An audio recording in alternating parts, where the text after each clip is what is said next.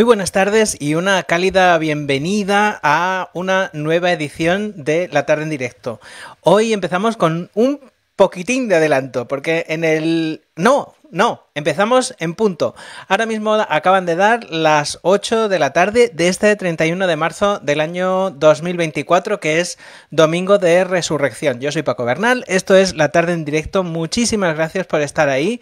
Eh, aunque hoy ha sido un día muy raro porque ha sido el día de los dos días raros del año. El último fin de semana, el último domingo de marzo y el último domingo de octubre son los días raros del año porque estamos todos como con el paso cambiado por el asunto del cambio de la hora. Pero bueno, espero que hayáis tenido un fin de semana estupendo, una semana genial que la vida os sonría. Aquí nos ha sonreído mucho.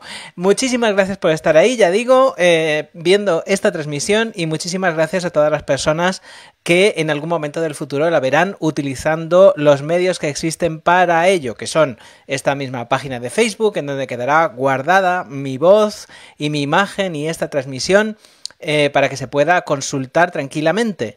Y también eh, la página de YouTube, www.youtube.com, bien a directo, en donde aparte de esta transmisión, pues tenéis también podcasts sonoros sobre los más distintos temas. Y también en www.bienadirecto.com. Lo digo ahora, pero también lo voy a decir a lo largo de esta transmisión varias veces, lo mismo que este recordatorio que siempre hago, que lo repito varias veces. Eh, esta va a ser la última transmisión hasta mayo.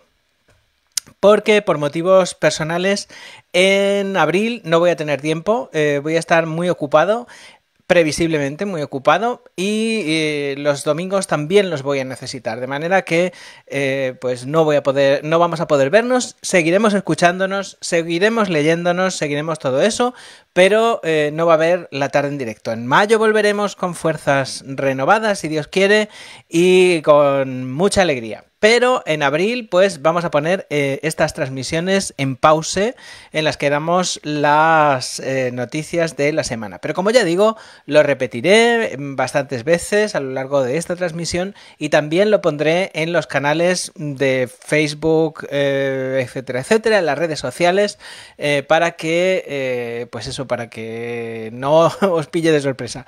Las cosas son así, ya no, no es una cosa que, en fin, que me guste, pero ¿qué vamos a hacer? Eh, bueno, hoy es domingo de resurrección. Eh, en Austria es la antesala de la Pascua Florida, que será mañana. El lunes de Pascua es festivo en todo el país. Y hoy, pues, toda la gente pues, se ha dedicado a, estar con su familia, a hacer una comida buena. Mañana también hay comida buena, el famoso Osterschinken. Eh, después de, de todos los 40 días de cuaresma, en donde oficialmente no se puede comer carne y el jueves y el viernes santo tampoco. Yo, como todos los años, me he acordado de mi abuela María, que para descanse hay que ver lo que son los abuelos. ¿eh? Yo me acuerdo siempre de... Mi abuela María era una mujer muy católica, claro, de muy religiosa por el asunto este de que, claro, era una señora mayor del franquismo, ¿no? Como me acaba de salir una cosa como de Manuelito Gafotas, pero en fin.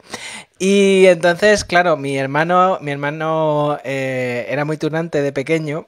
Y entonces, claro, mi, mi, abuela lo del jueves y el viernes santo de no comer carne lo llevaba a rajatabla. Eso y cuando y los martes y trece se pasaba todos los días rezando a San Antonio de Padua. Bueno, y entonces, eh, cuando pasaba esto, cuando era el jueves y el viernes santo, uno de los dos días, y además mi abuela siempre entraba al trapo, iba mi hermano y le decía, abuela, abuela, me he comido, me acabo de comer un trozo de chorizo. Y, entonces, mi abuela ponía el grito en el cielo y decía, ay Dios mío, que, que se ha muerto el Señor, ¿cómo, cómo has comido chorizo? y siempre le gastábamos esa broma. Esta y también eh, mi abuela era una señora que hoy hubiera sido terraplanista y entonces cuando éramos pequeños, bueno, pequeños, éramos unos niños mayorcitos, mi hermano, que como digo era un tunante, la queríamos mucho, pero nos gustaba hacerla rabiar, pues llegaba y le decía, abuela, abuela, mira que he oído que, que el hombre ha llegado a la luna. Y entonces mi abuela decía, decía aquello de, de, de verdad, qué, qué, modorros estáis, qué modorros estáis. Modorro en Extremadura eh, es estar tonto. Bueno, por si no lo sabe alguien. Eh, qué modorros estés. Si a la luna no se puede llegar. Si la luna, cuanto más te acercas tú, más se aleja ella. Claro, mi abuela tenía esta cosa, este mundo, eh, vivía en, el realismo mágico y no lo sabía. En fin, son las 8 y 4 minutos y empezamos ya con el, eh, con el repaso a las noticias en esta semana del puente, porque esta semana ha sido una semana en donde el puente de Baltimore ha sido la noticia. Todos hemos visto la imagen esta del barco, del carguero lleno de contenedores que había perdido, que, que por lo visto perdió el control y se arreó un trastazo bastante gordo contra el puente, de manera que el puente no lo resistió. Además, bueno, los aparte de aparte de por la fuerza que lleva un barco así, ese barco velero que cruza la bahía, como cantaba Isabel Pantoja, pues eh, claro, los puentes son eh, unas obras de ingeniería extremadamente delicadas y entonces claro cuando una cuando se rompe el equilibrio de fuerzas que mantiene el puente en, condiciones en su sitio pues claro aquello se cae como un eh, castillo de naipes me acordaba yo, bueno, yo cuando no estoy escribiendo bien a directo, que son algunos, algunos momentos de mi vida, aunque no lo parezca, pues yo me dedico al transporte y tal. Y me acordaba yo de, eh, además, al transporte marítimo, curiosamente. Y entonces me acordaba yo de un compañero mío de trabajo, no diré su nombre, ni la empresa, que eh, tiene por costumbre mm, cuando desayuna ver Café Pulse, que es el programa mañanero de Pulsfia, de, de la cadena, ¿no? Eh, de televisión. Y entonces, eh, entonces hace como cosa de un par de años o tres, pues resulta que había un barco eh, que de camino a su destino había salido del puerto de Amberes y de camino a su destino pues tuvo un accidente y se hundió. Eh, y tardó bastante en hundirse, de manera. Y además la cosa fue bastante aparatosa, porque el barco estaba lleno de contenedores, como este que se ha chocado contra el puente. Y entonces estaba mi compañero tomándose el café por la mañana antes de ir a trabajar, viendo la televisión. Y los periodistas de Pulse dijeron: eh, Pues ha habido un accidente marítimo y patatín y patatán. Y el barco se llama no sé cuántos y no sé qué. Y entonces en mi compañero decía: Uy, a mí este barco me suena, efectivamente. En el barco había tres contenedores, eh, tres o cuatro contenedores que eh, mi compañero había, había fletado una semana antes y que pues eh, a estas horas pues deben de dormir en el fondo del Océano Atlántico. Así es la vida. Yo me acordaba cuando, cuando vi las cosas de... cuando vi el accidente, me acordaba yo efectivamente de esto. Yo pensaba yo en esas personas que en algún punto del planeta, porque no se sabe de dónde venía el barco, creo que venía de Chile o una cosa así, em, de Chile con destino a Baltimore. Eh, pues yo pensaba, digo, madre mía, esta gente que se haya levantado por la mañana, se haya visto el barco en cuestión, haya leído el nombre y haya dicho, Dios bendito. Porque claro, todo esto es un asunto de papeleos, de aseguradoras y de historias que, como decía la flamenca, no se puede aguantar. En fin, eh, uy, voy a, uy, uy, me habéis dejado muchos mensajes. Voy a ver. Por cierto, felices Pascuas, que todavía no lo he dicho. Está mi madre ahí y dice: Buenas tardes, cielo, y buenas tardes para todo. Eh, para todos. Hola y para, todas. Hola, mamá, ¿qué tal? Espero que estés muy bien. Bueno, sé que estás bien porque hemos hablado esta mañana. María Esperanza Matos dice: Felices Pascuas y feliz domingo para ti y la comunidad. Pues también, felices Pascuas y feliz domingo para ti también. Espero que hayas pasado. Eh, bueno, no sé, en Austria hay una cosa muy curiosa que no sé si lo he contado alguna vez, que es el asunto de los combates de huevos duros. Eh, bueno, es tradición comer huevos eh, duros, coloreados y tal. El huevo en todas las culturas, pues es el, síntoma o el, símbolo mejor de la vida en latencia, de la vida que resurge, ¿no? Y esto, pues eh, aquí, pues se juega esto. Los que hayáis vivido en Austria lo sabéis. Sole dice: Buenas tardes, Paco, y muy felices Pascuas a todos. Pues muy buenas tardes también a ti, Sole, y muy felices Pascuas también. Hoy, eh, bueno, en España a lo mejor todavía es de día, por aquello del cambio de la hora. Eh, hoy aquí, ya eh, cuando empezó el programa estaba lo que, lo que técnicamente se llama el lubricán, que es esa, es esa hora en que no se puede distinguir al lobo del perro, al lobo del can, que por eso se llama lubricán. esa hora azul, pero ya es de noche. Paco dice, muy buenas Paco y compañía. Dice, ¿qué mes de, qué mes de abril eh, que se nos viene de cosas chulas en Viena? Pues sí, sí. Eh, en Cervantes bastantes cosas chulas, por cierto, y muchas las hago yo. Va a venir el Viralindo, vamos a hablar de física cuántica, vamos a hablar, ya os lo contaré tranquilamente, vamos a hablar de mm, eh, inteligencia artificial. Bueno, la semana del Día del Libro, la semana del 23 de abril, eh, voy, a, vivir en el Cervantes. Me tienen allí una cama puesta. Elena Prado dice, buenas tardes Paco, desde Bogotá, Colombia, felices Pascuas. Pues igualmente, feliz Pascua Florida. Espero que estéis muy bien también por allí. Bueno, em, al hilo de esto, eh, yo quería primero hacer una reflexión seria y luego una reflexión menos seria. La reflexión seria es que hay que ver... Claro, vivimos en un mundo, sobre todo en Europa, en el que, en el que la religión ha perdido mucho mucho espacio en la vida pública. Eh, a los austriacos les, les, sorprende mucho porque, claro, ellos tienen esa cosa ancestral, lo llevan grabado en la memoria genética, aquello de la, de, la católica España, ¿no? De, que en España somos supercatólicos y no sé qué.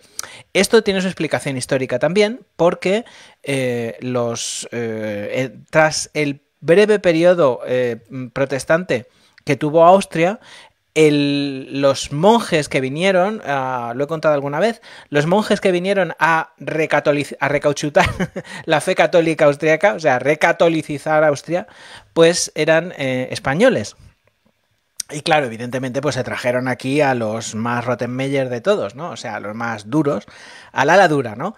Eh, y eh, de esto todavía quedan, por ejemplo, rastros en el callejero. hay una calle de los españoles negros, eh, de, Schwarzpaniastrasse. Eh, y esta, esta calle pues viene de eso. Los españoles negros famosos, mm, que suena así como tenebroso y tal, que es una secta, pues no eran sectas, sino que eran los monjes de Montserrat que llevaban un hábito eh, negro de esto. Bueno, y me da la sensación de que, en cierto modo, con el laicismo y tal, nos hemos despreocupado de lo que es la dimensión espiritual del ser humano. Y, y eso ha dejado un hueco que eh, al no haber, eh, que, han ocupado otras cosas, no necesariamente, en muchos casos no necesariamente mejores que la religión o el catolicismo original, eh, pero, o sea, supersticiones y cosas así, como por ejemplo, pues todas estas teorías de la conspiración, etcétera, etcétera. O sea, a mí me da la sensación de que el hombre cuando digo el hombre, digo el ser humano, o sea, el hombre y la mujer, eh, pues necesita creer en cosas inexplicables, trascendentes, superior a él o a ella, ¿no? Y entonces, eh, cuando no está dentro de la, de la religión institucionalizada, que también, por supuesto, tiene cosas malas, pero también tiene cosas muy buenas. Eh, por ejemplo, pues toda la obra social de las diferentes religiones, de las diferentes iglesias, ¿no? Pues eh, se, se, le va la pinza al ser humano y cae en este tipo de cosas. Y otra cosa que yo quería, em, de la que, os quería contar así brevemente, porque me parece curioso, es que, claro, en Austria, como en, como en todo el mundo católico y como en Latinoamérica también, eh, coincidiendo con esto días, pues hay películas de Semana Santa. O sea, las películas famosas de Semana Santa que se, que, se hicieron sobre todo entre 1940 y muchos y 1960 y pocos. En ese, en, ese espacio de casi 20 años, pues eh, se hicieron eh, se hicieron muchas, muchas, muchas, muchas películas eh, pues de tema religioso. Esto eh, tiene, y además eso, y se ponen en las televisiones ahora, en estas, en estas fechas, antes se ponían en los cines. Yo me acuerdo, por ejemplo, que siendo pequeño, yo vi en el cine, si no me equivoco, en el Cine Paz, que ya no existe. Madre mía, como la mayoría de los cines. En el Cine Paz de mi pueblo, de Alcobendas, o sea, del pueblo de al lado de, donde yo nací, pues estuve viendo eh, Vive. Y, y, la vi y tuve la suerte de verla en un reestreno en pantalla grande, que es una maravilla, Benur con Charlton Heston y tal. Y recuerdo, la peli dura una eternidad, claro, dura tres horas. Y recuerdo que cuando, que cuando terminó me acerqué al conserje, o al bebé, ah, no, al acomodador se llaman los cines. Me acerqué al acomodador, ya como no hay, me acerqué al acomodador y le pregunté yo de siendo niño, oiga, oiga. y él me miró desde las alturas de su uniforme y, y yo le dije, mm, ¿hay otra sesión después de esta? Pues yo estaba dispuesto a verla otra vez porque me gustó tanto que yo quería verla otra vez. Y el hombre me miró, además no se me olvidará la vida, y me dijo, sí, otra vez. Como diciendo, sí, vamos, voy a verla de otra vez, voy a tragar de otra vez esto. Curiosamente se llaman, eh, en Austria se llaman Schinken, estas películas así largas, espectaculares y tal, se llaman, especialmente estas, se llaman eh, eh, jamones. Entiendo que es porque, claro, es por asociación con el jamón que se come ahora en Pascua, con el jamón de Pascua. Bueno, pues, eh, por, y, además, claro, a ver, la, mm, el motivo oficial de que haya tantas películas religiosas en ese, en ese momento eh, de la historia, que ya no hay tantas, eh, o se hacen menos, es que el cine tenía que competir con la televisión en espectacularidad. Claro, la gente no salía de casa y no se iba al cine. Antes, antes de llegar la televisión, el, cine era el entretenimiento de masas. Entonces, cuando llegó la televisión, pues la gente se quedaba en su casa tranquilamente viendo cosas gratis, curiosamente. Es una cosa como Internet, ¿no? Y como lo que después pasó con Internet. El caso es que, eh, bueno, la explicación oficial era que eh, para competir con espectacularidad, pues se hicieron estas películas, pero se podía haber buscado otro género, ¿no? Se podía haber hecho, yo qué sé, pues películas de guerra, por ejemplo, que también hubo así, ¿no? En, plan espectacular. Eh, pero eh, la cosa es que había dos cosas por las que no. Dos cosas por las que casi estaba cantado que iba a ser cosas de tema religioso. En primer lugar, porque la Iglesia Católica, especialmente la Iglesia Católica, controlaba todos, todas las organizaciones de telespectadores que em, que imponían boicot, eh, boicots a las películas que no estaban dentro del ideario católico, o sea, que no entraban dentro del código de censura eh, que se llamó el Código Hayes, que duró hasta los años 60 del siglo pasado. Y por otro lado, es que, eh, y esta es lo que no mucha gente sabe, es que después de la Segunda Guerra Mundial, las finanzas del Vaticano buscaron sectores rentables en los que invertir y encontraron los bancos americanos que invertían en los estudios de Hollywood. Estas películas eran unas películas muy caras y se hacían a crédito. O sea, normalmente el estudio llegaba con el proyecto de la película y decía, oiga usted, bueno, hay otra cosa también eh, que ahora contaremos, ahora os contaré. Bueno, se hacían a crédito, entonces llegaba con el proyecto de la película, con el guion y decía, oiga, mire usted, eh, esta es la película que quiero hacer. Y entonces si había, si era una película un poco subidita de tono, tampoco hacía falta que fuera muy subidita de tono, pues entonces el banco decía, no, yo para esto no doy dinero, porque mis accionistas no quieren que dé dinero en, películas eh, cochinotas. Y sin embargo, eh, cuando había pues alguna cosa tipo rollo Rey de Reyes, Benur, la túnica sagrada, eh, Judas, Barrabás, Barrabás, que había una que Anthony Quinn hacía de Barrabás, del malote, eh, que luego ya no era tan malote, pues eh, claro, el banco estaba encantadísimo, llamaba al, Vaticano y decía, mm, buenas tardes, Santo Padre, ¿le apetece que hagamos una película de monjas o de romanos con muchos mártires y leones en el Coliseo? Sí, sí, sí, sí, esto me viene bien. y entonces, pues por eso daban dinero. Luego hay otra cuestión, todas estas películas, muchas de estas películas utilizaban el plató italiano de Cinecittà. ¿Por qué? Porque eh, había, y, en España se hicieron muchas también, porque había, eh, porque muchas compañías americanas eh, tenían fondos en Europa que estaban que después de la guerra estaban inmovilizados y no podían moverlos a Estados Unidos. No podían mover ese dinero, esas divisas a los Estados Unidos. Entonces, ¿qué pasaba? Claro, si tú te coges en un maletín y te llevas 5 millones de dólares, pues claro, cuando pasas por la aduana, el fisco te clava. Pero si te llevas un, si haces una película les, y la, eh, las latas de película y te las llevas, eh, a los Estados Unidos, pues, eh, pues pagas arancel por la película, pero no pagas el dinero, ¿no? Y esa es la explicación de que durante tanto tiempo, pues hubiera, eh, esta, durante estos 20 años, hubiera todas estas películas de tema religioso. Por supuesto también porque sabían también que había un público, ¿no? O sea, era un poco un círculo, un círculo virtuoso para la iglesia en este sentido, ¿no? Porque claro, por un lado tenían películas que producían eh, utilizando la propaganda católica y que propagaban ese, esa, esa, visión del catolicismo. Y por otro lado pues también pues había gente que iba a verlas. Y entonces se hicieron mogollón de películas eh, relacionadas con esto. Pues tengo aquí apuntados Benur las más famosas las que se ponen ahora no Benur con Charlton Heston Los Diez Mandamientos La túnica sagrada, por ejemplo, Siguiendo mi camino, una con Bing Crosby, con Bing Crosby haciendo de cura, Narciso Negro con Deborah Kerr, que estaba guapísima y hacía de monja en el Tíbet, Historia de una monja con Audrey Hepburn, eh, o Las campanas de Santa María. Esta película de Las campanas de Santa María tiene una historia curiosa y es que em, la hizo Ingrid Bergman inmediatamente después de haber rodado Casablanca. Y cuando vieron los ejecutivos de la Warner Brothers eh, en la primera copia de Casablanca, dijeron, no, pues aquí estaría bien que hiciéramos otra escena y tal y no sé cuántos. Y entonces no, no pudieron tocarla porque no pudieron rodar nuevas escenas con Ingrid Bergman porque Ingrid Bergman ya se había cortado el pelo para hacer de monja en las campanas de Santa María.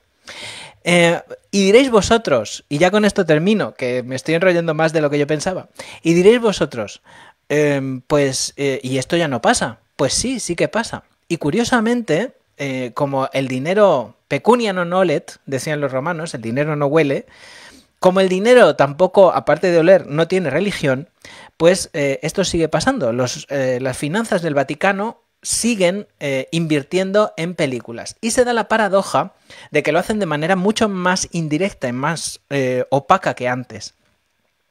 Sobre todo durante el, pontificado de Benedicto y de Juan Pablo II, esto, esto era así, ¿no? Eh, y entonces se, da se, da curiosamente la cuestión de que, de que a través de fondos de inversión, uno de ellos que tiene su sede en Malta, el Vaticano, el dinero que la gente echa en el cepillico en misa todos los días y tal, eh, pues ese dinero se invierte en películas que a veces no tienen nada que ver con la ideología católica. Por ejemplo, una de esas películas que en parte ha sido financiada por el dinero vaticano, eh, del Vaticano ha sido Rocketman, que es la eh, biografía muy buena, por cierto, una película buenísima y que se pasa fenomenal y súper rentable además, la biografía de Elton John, naturalmente, notorio homosexual eh, y con un estilo de vida que no se parece nada a lo que a, un a lo de un católico fundamentalista. También, por cierto, hay películas, eh, aquí se hicieron películas también, no tanto como en, en también se hicieron películas, eh, hubo, sobre todo en los 50, ¿no? Hubo una cierta costumbre de vestir a los de vestir de cura o de monja a las personas, a los actores famosos. No fue como en el caso de España, en donde hay, bueno, se me ocurre, Gracita Morales, Sor Citroën, Lola Flores eh, también hizo de monja, eh, Carmen Sevilla hizo una que se llamaba La Hermana Alegría. No, espérate. Eh, hizo un remake de La Hermana San Sulpicio que ya había hecho antes Imperio Argentina. Juanito Valderrama, Juanito Valderramen hizo El Padre Coplillas también. y así todos. Yo creo que no me acuerdo si Manolo Escobar también. Eh, pero quisiera decir, quisiera pensar que sí.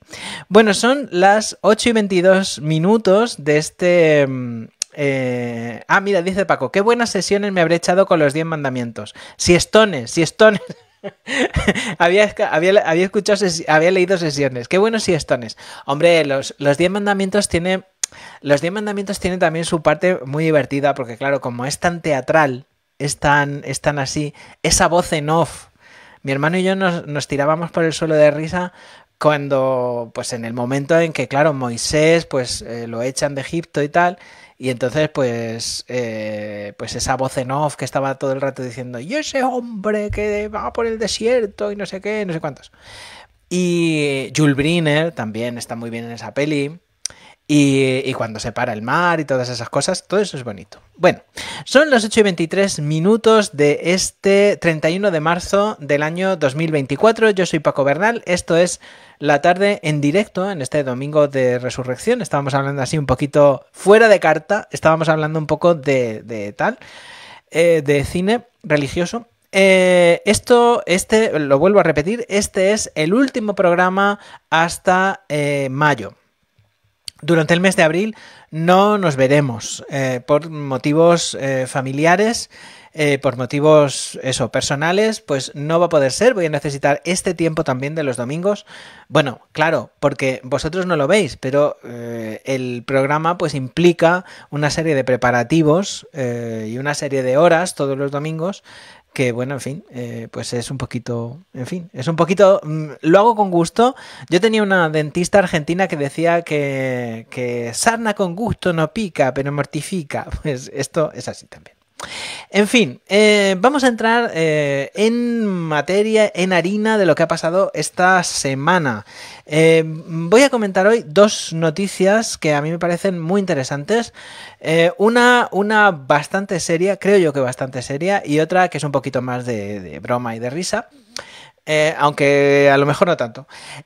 bueno, esta semana hemos tenido, hemos tenido que hablar y me temo que seguiremos hablando durante los próximos meses, hasta el mes de junio, hemos tenido que hablar de espionaje y de espionaje ruso. Eh, este, estos días atrás eh, detuvieron a un ex alto cargo de los servicios secretos austriacos que lleva el nombre que me parece absolutamente... O sea, fantástico. Bueno, fantástico, además porque es un nombre de malo de película. Se llama Egistos Ot, el hombre. Detenido que tú, yo qué sé, ponerle a un niño Egistos, también hay que, hay que pensar sus padres en qué estarían pensando. O sea, es como ponerle a un crío Lucifer o así. Luzbel. Luzbel, te he dicho 55 veces que no le pegues a los niños en el parque. Pues con este igual, Egistos. ¿Cómo le llamarían? ¿Egistín? bueno, no, que se me va mucho la cabeza. Eh, pues Egistos Ot eh, fue detenido junto con otra persona que se supone que, según los medios, parece ser que era su yerno y la acusación es evidente, era por haber espiado para los rusos. Eh, según parece, el chivatazo lo dio el servicio secreto británico, eh, diciendo, eh, este señor, eh, cuidado con este señor, que este señor está, está vendiéndole secretos a los rusos. parece ser, se le acusa, además hoy, hoy acaba el, el plazo de prisión preventiva, pero se le acusa a Egisto Sot de haber estado décadas décadas vendiendo información a los rusos.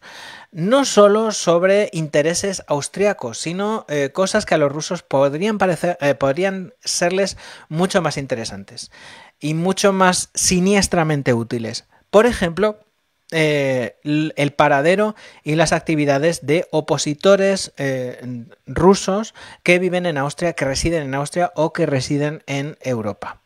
Eso en primer lugar. Y la segunda cosa eh, sería eh, que parece ser que Egistos Ot ha estado haciendo él y sus compinches durante bastante tiempo, naturalmente a cambio de mm, pastaca, eh, pues ha sido también sabotear los propios servicios secretos austriacos. El momento en el que estuvo muy a punto de conseguirlo totalmente, de hecho lo consiguió bastante, eh, de desactivar totalmente o casi totalmente los servicios secretos austriacos fue en la famosa redada en donde las eh, fuerzas de seguridad austriaca asaltaron los, eh, la sede del servicio secreto austriaco. Parece ser que el informe anónimo se dice presuntamente que el informe anónimo que motivó este asalto de las fuerzas eh, de seguridad austriacas pues fue eh, hecho por este señor, por este Egisto Sot.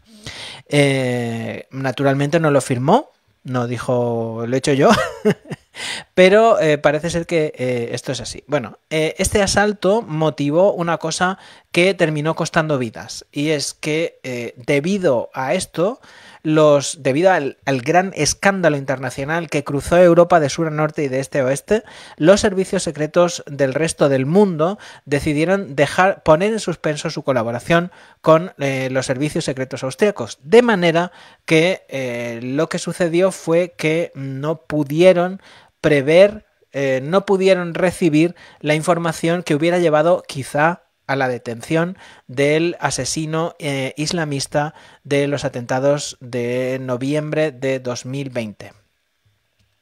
Eh, bueno, otra historia más rocambolesca relacionada con este asunto es que eh, este, el bueno de Gistos Egistosot, Luciferot, lo que hizo fue venderle secretos, les vendió los datos de los móviles de tres cargos, de tres altos cargos de la administración austriaca eh, relacionados con el Ministerio del Interior, con la seguridad austriaca, que, eh, que habían llegado a sus manos. Y la manera en que habían llegado a sus manos, pues tiene su gracia.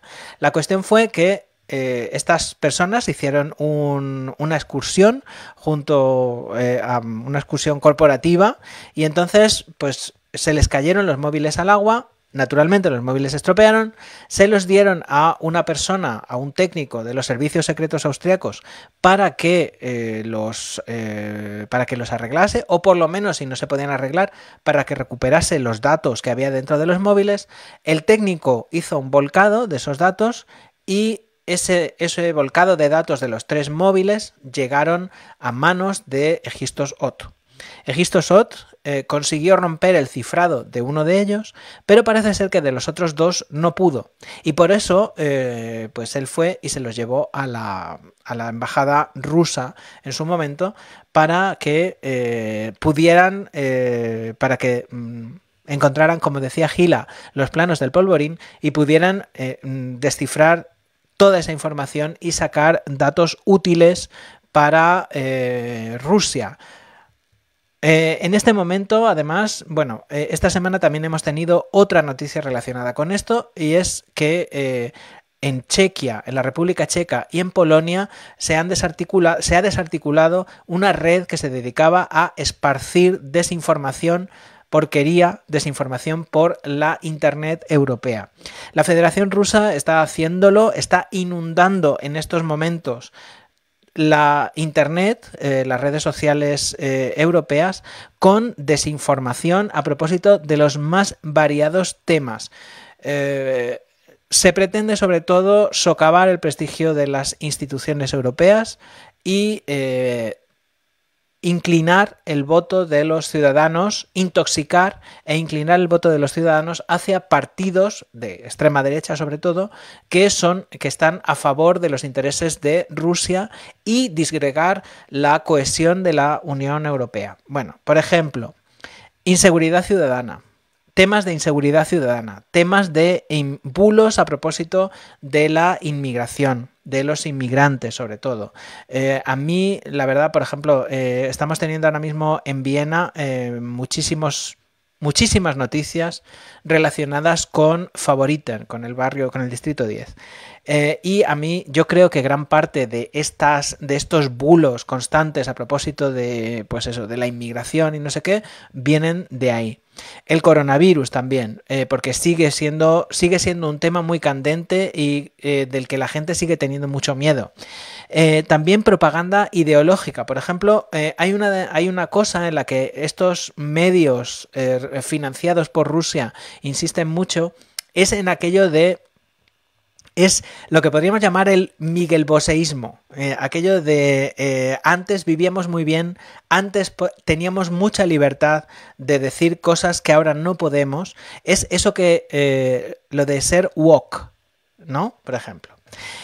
bueno, y también cosas que pueden parecer mucho más frívolas, pero que en realidad no lo son. Por ejemplo, todo, seguramente os acordaréis del asunto de las chinches en los hoteles de París.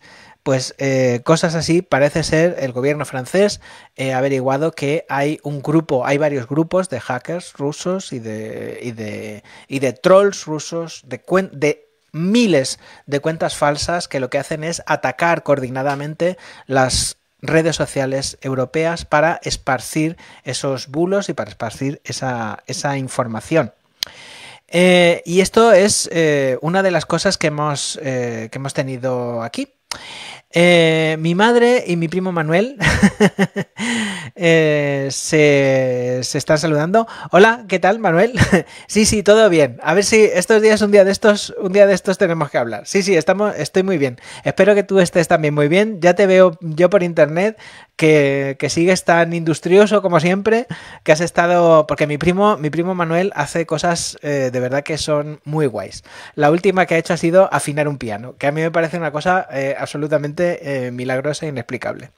En fin, son las 8 y 33 minutos de este 31 de marzo de 2024. Yo soy Paco Bernal, esto es La tarde en directo y estamos, eh, hoy es el 31 de marzo de 2024, domingo de resurrección. Muchísimas gracias por haber estado ahí, eh, por, estar ahí todavía, aún no os vayáis, que tenemos todavía cosas, por estar ahí. Muchísimas gracias por ver esta transmisión en algún momento del futuro a través de los medios que hay para ello, que son el canal de YouTube, eh, Facebook y www.vienadirecto.com.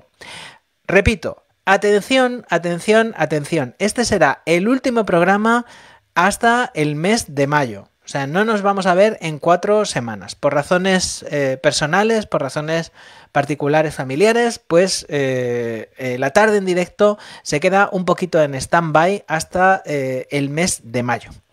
En fin, eh, y la otra noticia que os quería contar, que me parece muy divertida, y además tiene una protagonista española, que a mí, por esas tonterías de la vida, pues me llenó mucho de orgullo la cuestión, fue, eh, es que, eh, según un estudio de la Universidad de Innsbruck, coordinado entre la Universidad de Innsbruck y la Universidad de Múnich, no, espera, de, de Nuremberg, y capitaneado por una científica española que es profesora de inteligencia artificial y música, que a mí me parece una combinación maravillosa y una cosa genial. Bueno, pues esta señora eh, y este, este equipo de científicos han analizado 12.000 canciones en inglés de diferentes géneros. Em, era rock, rhythm and blues, country y algo más. Y rap. Eh, publicadas entre 1980 y el año 2020. Y han descubierto que nuestras intuiciones eran ciertas. Las canciones del año de estos últimos 40 años, eh, la calidad, o sea, a ver, la calidad, es que esto de la calidad es muy relativo. La complejidad de las canciones durante todo este tiempo ha ido decayendo durante estos últimos 40 años y las canciones pues son más simples. o sea, son más para... En fin. Eh, se ha reducido el vocabulario de las letras, o sea, la, la variedad lingüística de las letras. La estructura también se ha reducido, eh, porque se basan más en repeticiones de unidades más cortas y eh, en general, pues todo se ha vuelto, claro, como no pueden atacar con la letra, pues se han vuelto las canciones mucho más emocionales y lo que a mí me llama mucho la atención también es que se han vuelto más tristes. Eh, en general, la cosa es todo como mucho más triste, más, más personal y más triste. Abundan más las baladas, etc. No en todo este deterioro, llamémosle así, este deterioro no ha ido igual por todos los géneros. Eh, los, eh, amantes de la música rock, de las canciones de rock, parece ser que mm, pues eh, siguen, les sigue gustando las letras, pues no profundas, pero sí complejas, no sé qué, complicadas, complicadas. y sin embargo, pues parece ser que la decadencia ha llegado más al rap. Lo del rap es una cosa muy curiosa porque además es un género que, es, em, que se basa eminentemente en la palabra. Y entonces el hecho de que cada vez sea todo más simple y que estemos a la altura del vocabulario de Donald Trump, pues la verdad es que, en fin, no parece muy alentador. Entre las razones que las personas que han hecho el estudio apuntan para este estado de cosas tan desastroso es que, eh, bueno, desastroso en fin, eh, cada, cada edad, su, cada tiempo tiene sus gustos, ¿no? Pero las razones es que la música no se consume igual que en 1980. Porque claro, en 1980 la gente, cuando tú te tenías que poner el disco, el vinilo en el tocadiscos y pues eh, la gente eh, generalmente escuchaba música y paladeaba la letra. Y sin embargo ahora, cada vez más, según estas, estos científicos, la música se consume como música de fondo. De manera de manera que no se que no se utiliza, eh, que no se, se tiene de fondo y no se sabe tanto, no se utiliza tanto la letra. Em, ¿Qué más? ¿Qué más? ¿Qué más? ¿Qué más?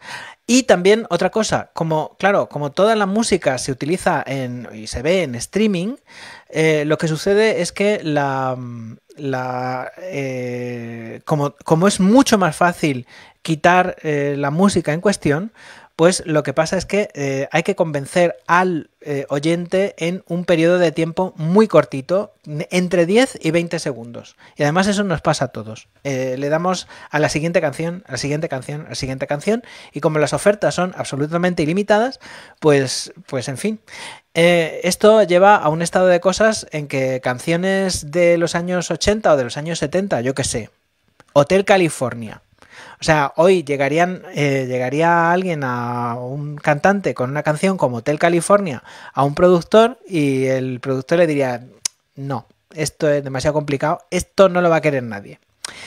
En fin, bueno, son las 8 y 39 minutos de este domingo 31 de marzo del año 2024 y con esto, con esta, con esta llamada a que las canciones vuelvan a ser como antes, hay que ver, se siente uno como un abuelo, pues vamos a ir terminando este programa de hoy del día 31 de marzo, eh, que será, lo vuelvo a repetir, el último hasta el próximo mes de mayo. Nos volveremos a ver, voy a mirarlo en el calendario si Dios quiere, nos volveremos a ver el día...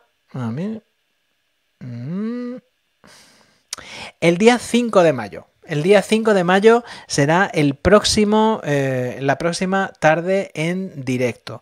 Hasta entonces, pues eh, la información seguirá en, en Viena Directo eh, con a lo mejor con alguna pausa, pero la información seguirá en Viena Directo y eh, habrá, pues eso, artículos, habrá probablemente podcast y habrá probablemente otras cosas, pero la tarde en directo, pues, eh, pues no va a haberla.